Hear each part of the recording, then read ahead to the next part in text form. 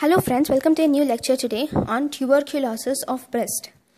So this tuberculosis of breast, it can occur most commonly in multiparous women. In multiparous women, this tuberculosis of breast is common or else it is relatively rare.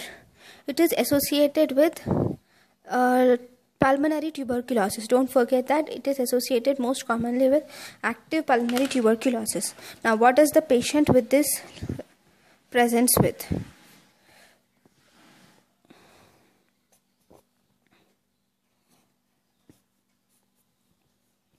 Now, so here, a person with tuberculosis of breast, he has, uh, he presents with a swelling in the breast, and this swelling is not red. He doesn't have any uh, symptoms or signs of inflammation. Here, it is a cold abscess. The person presents with cold abscess and there can be even sinuses. Okay? The patient presents with number one cold abscess and also sinuses. Okay? Now uh, if you see the skin of this breast it is not reddish but it is mostly bluish skin. Okay? Bluish appearance of skin is seen. Uh, then the one more important feature of TB uh, breast is the presence of lymph nodes there can be matted lymph nodes in the axilla. Lymph nodes in the axilla may become matted.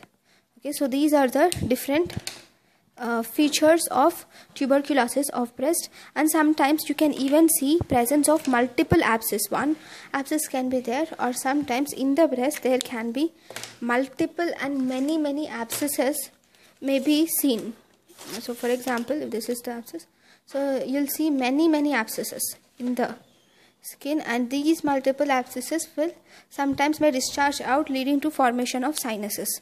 So this is what we see in tuberculosis of breast. The woman complains of having lump or swelling in the breast and then when you do FNAC you can find the tuberculous bacilli uh, while doing AFB staining or you can even this can sometimes may resemble carcinoma. So as a result you'll have to do a frozen section biopsy to differentiate it from carcinoma and excisional biopsy should be done. So what is the treatment? The treatment because it is tuberculosis you'll have to give anti-tubercular drugs. ATT anti-tubercular therapy should be necessary. We should do that. And then we will have to drain this cold abscess which is there. This should be drained. That is one. And then healing is usual but the thing is the healing is delayed. So that is the main thing main important points of tuberculosis of breast. So thank you guys for watching my lecture. In the next class we will learn about Mondor's disease. Thank you